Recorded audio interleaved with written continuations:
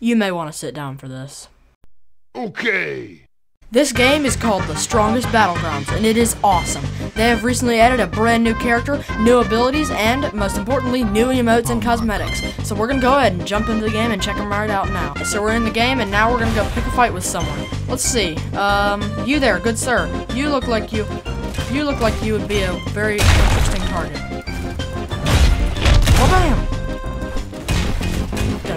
Guy to death all that. Yeah! Yeah, how do you like that?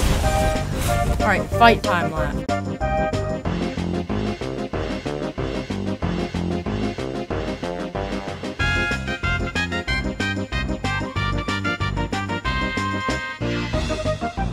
Alright, this guy can hang, the big banana man. He can hang, yeah. Uh, but can he, but can he withstand a beating?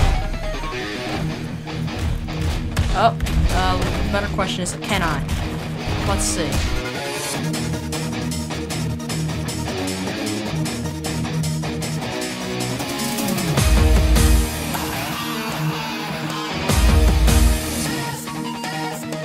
You know, I think the introduction of emotes to this game was a really cool idea, but it's just like it needs a better emote system. Like this is a cool emote. Yeah, I can I can do that. I can also take a selfie as I kill someone. Look, I took a selfie with a corpse. Guys, this is the newest trend. Taking a selfie with a corpse. Let's see if I can make a corpse right now.